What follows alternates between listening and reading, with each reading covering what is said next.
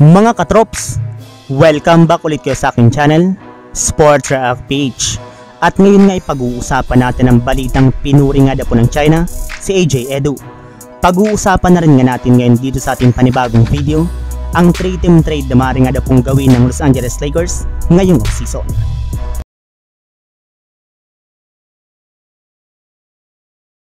Gamit nga po mga katrops, ang naitala ni Jordan Clarkson na 34 points 5 rebounds sa kanyang 5 out of 10 sa 3-point line, kasama na ang kanyang nagawan 24 points sa loob lang ng third quarter, ay tuluyan na nga po niyang nabuhat ang ating Gilas Pilipinas para makuha ang kanilang kauna-unahang panalo ngayong 2023 FIBA World Cup kontra sa China. Pero kahit man nga po si Clarkson na nagbuhat sa gilas sa pag-init ng kanyang shooting, ay malaki naman nga po ang kanyang pasasalamat sa kanyang teammate na si Renza Bando. Gayong bukod nga po sa naitala nitong 14 points, 5 rebounds sa kanyang 5 out of 9 shooting, ay ito rin naman nga po nagpasimula at nagbigay ng momentum, liksi at dedikasyon sa gilas para magkaroon ng scoring run at makuha nga po nilang kanilang kauna-unahang panalo ngayong 2023 FIBA World Cup. At sa kanilang naging laro nga po mga katrops, ay pinuri rin naman nga po ng Team China si AJ Edo, gayong ito nga po talaga ang nanguna sa Gilas Pilipinas pagdating sa depensa sa ilalim ng basket. Yes, sobrang nga daw nahirapan ng China na makasalaksak sa ilalim ng basket dahil sa shot blocking presence ni AJ Edu sa kanilang laro. Sa katunayan, ilang beses nga po nitong nasupalpal ang kanilang mga tira.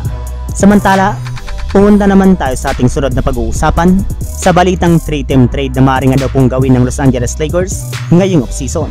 Ayon nga po mga katrops sa nalabas ng NBA insider na si Jovan Buhan ng The Athletic, kung sakasakali man nga daw po na hindi gumana ang bagong lineup ngayon ng Los Angeles Lakers, ay sigurado nga daw po nagagawa ulit si Rob Pelinka ng isang malakihang trade bago pa man sumapit ng trade deadline.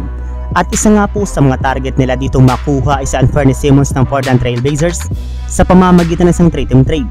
Bali nag-average naman nga po si Anferny Simmons last season ng 21.1 points, 2.6 rebounds, at 4.1 assist per game, sapat na para makatulong sa Lakers especially kina Anthony Davis at LeBron James.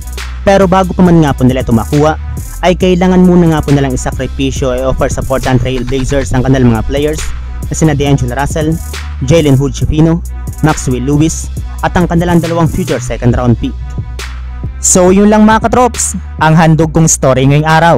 Sana nag-enjoy kayo, please like and subscribe my YouTube channel Sports React PH para sa iba pang story at update patungkol sa NBA.